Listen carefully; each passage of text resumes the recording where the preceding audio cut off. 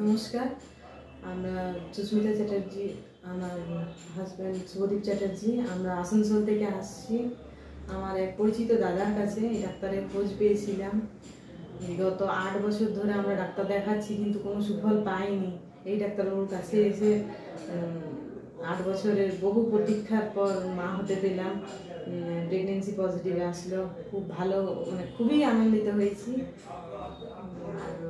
দুর্গাপুর থেকে দেখাচ্ছি আমরা প্রথম দুর্গাপুর থেকে শুরু করেছিলাম দেখানোটা আর কি।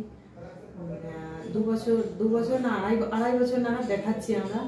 মাঝখানে করোনার জন্য কিছুদিন বন্ধ হয়ে গেছিল, নাহলে আগেই ফল পেতাম। আবার শুরু করেছিলাম করোনার পর দেখানো, দিয়ে এই চার, পাঁচ মাসের মধ্যে সুফল পেলাম আমরা।